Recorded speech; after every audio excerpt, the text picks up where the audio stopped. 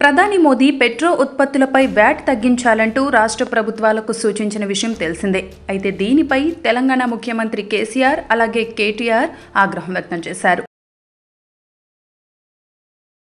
ప్రజలపై భారం వేయొద్దంటే మీరెందుకు ధరలు పెంచుతున్నారంటూ ప్రశ్నించారు.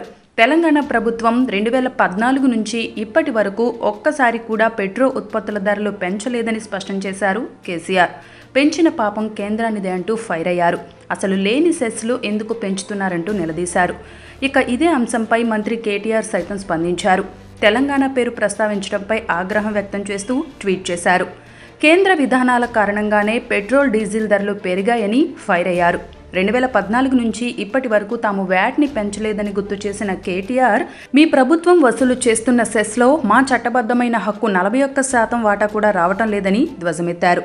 ఏడాదిలో కేవలం ఇరవై తొమ్మిది పాయింట్ ఆరు శాతం మాత్రమే వస్తోందని చెప్పిన కేటీఆర్ దయచేసి సెస్ను రద్దు చేయాలని అప్పుడు దేశవ్యాప్తంగా పెట్రోల్ డెబ్బై రూపాయలకి డీజిల్ అరవై రూపాయలకే వస్తుందని సూచిస్తూ వన్ నేషన్ వన్ రేటు అంటూ ట్వీట్ చేశారు.